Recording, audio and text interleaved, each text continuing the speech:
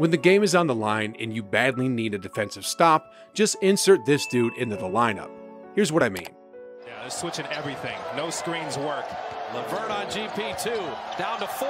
Lost the handle. Gary Payton II has been a lockdown pest for the Dubs this season, and he's become the poster boy of the Dubs D with steals like these. Get past to Halliburton, and there's Payton with a steal. Gallo's going to head down the lane and Before his breakout season this year, this was a guy who just appeared in 94 games over the last six seasons, going back and forth from the G League to the NBA.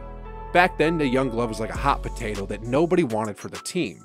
But now it's a totally different story, and everyone is on his grill as if he's some kind of hot commodity. To get a hold of his transition from being just a regular rotation guy to becoming a vital piece in the Dubs 2022 championship lineup, let's crunch the numbers to see how this guy went from zero to hero. As you can see from the table here, his numbers weren't that eye popping, I mean, he averaged below 7 points a ball game his whole career. But if you look a little more in depth and go beyond the surface, you're going to be surprised. For example, looking at his numbers based on the per 36 minute stat line, you'd see that the young glove is incredibly efficient and effective. Per 36 minutes of ball game, GP2 is averaging about 16 points, 7.5 rebounds, and 3.1 steals, while shooting beyond 80% from within the arc and 41% from downtown. Now, guys, these are some absurd numbers, and if I'm Steph Curry or Draymond Green, I'm thanking the front office that they didn't sign Avery Bradley instead. Anyway, to have a more in depth focus on the game of GP2, let's review some of his highlight reels to see how he makes an impact on both ends of the floor. It's pretty clear in this play that GP2 is giving up several inches over the much taller Dosunmu, Knowing that he'll have a hard time fighting him when he's above the ground, GP2 uses quickness when the ball was still on the deck, and it resulted in back to back swipes, which led to a fast break for the Dubs on the other end. Vucevic is an important part of what they do on the offensive end because creates a lot of spacing. Also Another thing that is underrated about his game is his hustle. Most guards would just casually stroll back to the other end after a missed shot. But check out GP2 right here. After Damion Lee missed a shot, the young glove slowly crept out of the corner, and despite standing only at 6 foot 3, he was able to grab the offensive board and stick up a putback. Curry over to Lee, sets his feet, way off. Look who's there. The phrase they're now using for Payton's explosiveness is lightning in the legs. With almost a quarter of the season now in the books, the Dubs are still leading the pack in terms of defensive rating, and there's no doubt that the young glove has his fingerprints all over it. Aside from the Dubs' other premier defender, which is Draymond Green, Steve Kerr has nothing but praise for his two hound dogs and gave a special shout out to GP2 in a recent interview about the quality of defense that he brings in every night. Having Gary Payton playing a prominent role has given us two all world defender to add to the mix.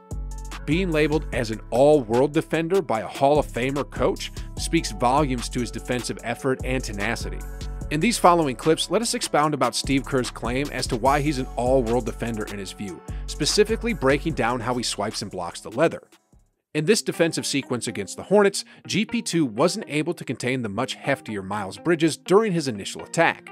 But when Bridges took on Steph, GP2 used the monetary switch in defense to gather himself to time his attempt and swat a shot with authority. To 15 right now for Golden State. In this next clip, the Kings are trying to swing the ball to get some people open in this play right here. After Buddy Hield threw a pass to Halliburton, GP2 was able to intercept the next pass using his incredible nose for the ball as well as being simply active on his feet. Harrison Looney out on Buddy Hield, skip pass to Halliburton, and there's.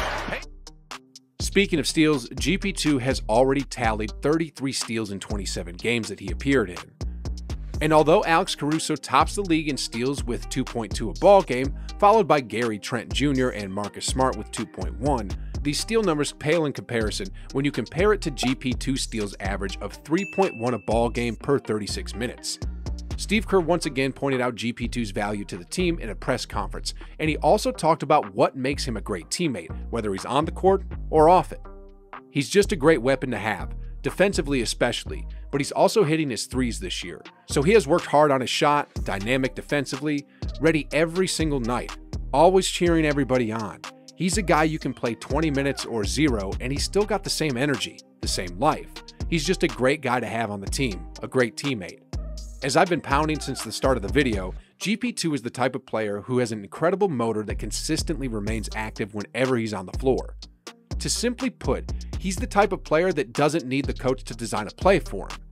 Gary Payton II is a hustler and the man calls his own number. Let me show you what I'm talking about in these succeeding clips. In this play right here, Bjelica surveys the Dubs offensive from the top of the key. When things were about to get stagnant, GP2 had the presence of mind to cut under the rim for an easy layup. Looking to move it. Bjelica. When JP3 was having a hard time shaking off his defender in this play, you could see GP2's activeness here once again as he went back door, sliding past the sleeping defense of Jalen Green for a reverse two-hand flush.